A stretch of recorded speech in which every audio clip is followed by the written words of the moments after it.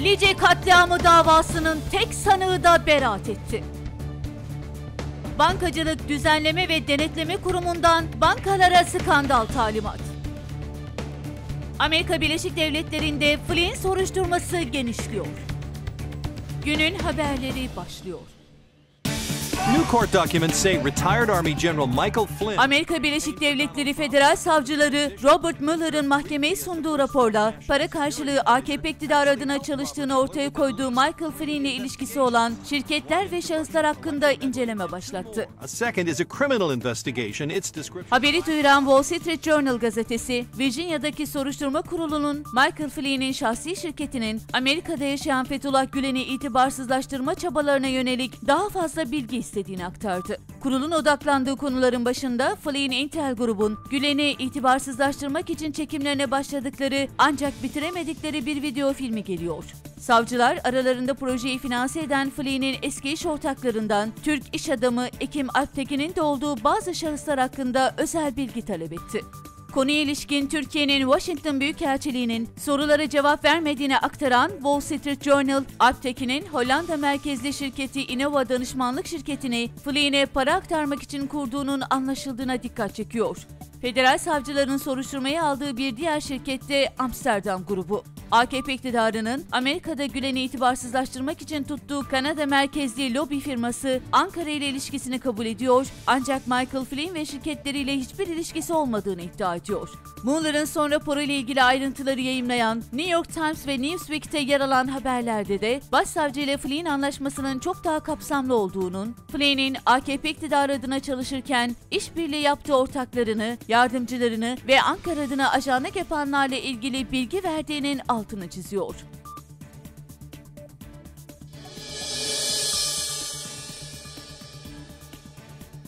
Bankacılık Düzenleme ve Denetleme Kurumu bankalara nakitleri elinizde tutun, çıkış yapmayın talimatı verdi. Skandal talimatı köşesine taşıyan Sözcü gazetesi yazarı Çiğdem Toker, hukuk aleminde henüz varlığı kesinleşmemiş, Finansal İstikrar ve Kalkınma Komitesi'nin ikinci toplantısında alınan kararlara dikkat çekti ve peki her kötülüğün ve olumsuzluğun kaynağı dışarıda ise neden Bankacılık Düzenleme ve Denetleme Kurumu bankalara her şeyi bana sorun, izin alın, öyle adım atın anlamına gelen bir yazı gönderiyor diye sordu. Toker, her banka yöneticilerine, çalışanlarına yıl sonunda verdiği prim ve ikramiyelerini de BDDK'ya bildirecek. Bütün bunlar Bankacılık Düzenleme ve Denetleme Kurumu'nun yetkisinde var mı? Var. Peki gerçekten sıkıntı olmasa attıkları her adımı bankalar niye otoriteye bildirmek zorunda olsun ki sözlerini kullandı?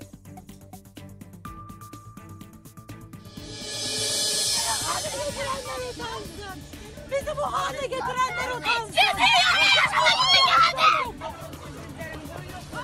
Aydın Kızılcaköy'de jeotermal enerji santrali yapılmasına tepki gösteren köylülere jandarma, toma ve biber gazıyla müdahale etti.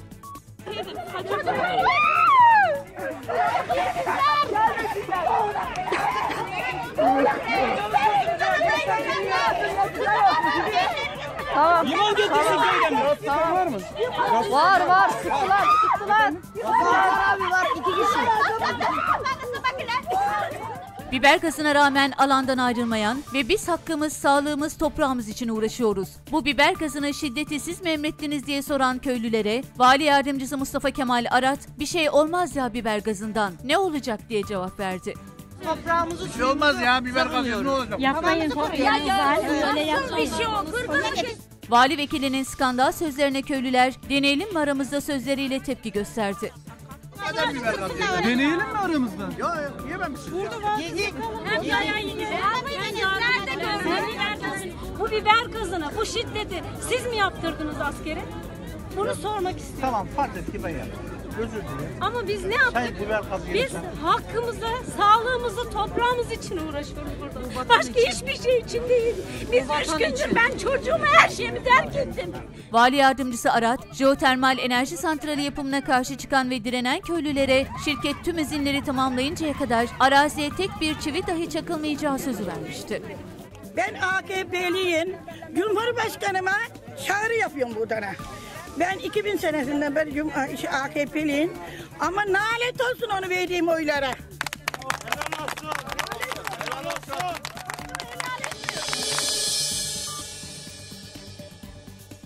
Diyarbakır'ın Lice ilçesinde 22 Ekim 1993 tarihinde 15 sivilin, bir askerin ve dönemin jandarma bölge komutanı Bahtiyar Aydın'ın öldürülmesiyle ilgili açılan davanın 14. duruşmasında karar çıktı. İzmir 1. Ağır Ceza Mahkemesi davanın tek sanığı olan dönemin İl Jandarma Komutanı Albay Eşref Hatipoğlu hakkında beraat kararı verdi.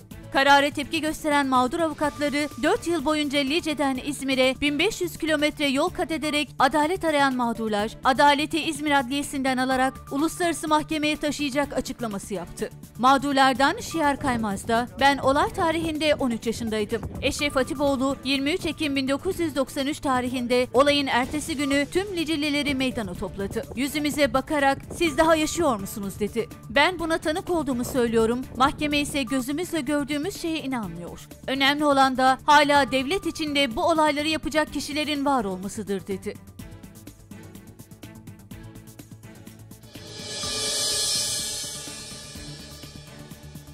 Ergenekon, Balyoz ve Poyrazköy davalarının savcılarından Ercan Şafak 9 yıl 4 ay 15 gün hapis cezasına çarptırıldı. Şafak, İstanbul 32. Ağır Ceza Mahkemesi'ndeki duruşmada yaptığı savunmada balyo kullanmadığının tespit edildiğini, Yarsav'dan başka dernek üyeliği bulunmadığını söyledi ve görevden alınmamış olsaydım menfur olay 15 Temmuz'la ilgili de görevimi yerine getirecektim. Soruşturma yapacaktım sözlerini kullandı. Ancak mahkeme heyeti anayasayı ihlal, hükümeti ortadan kaldırmaya teşebbüs suçlamalarından beraat kararı verdiği Şafak'a Gülen cemaatine üye olma suçlamasıyla 9 yıl 4 ay 15 gün hapis cezasına çarptırdı.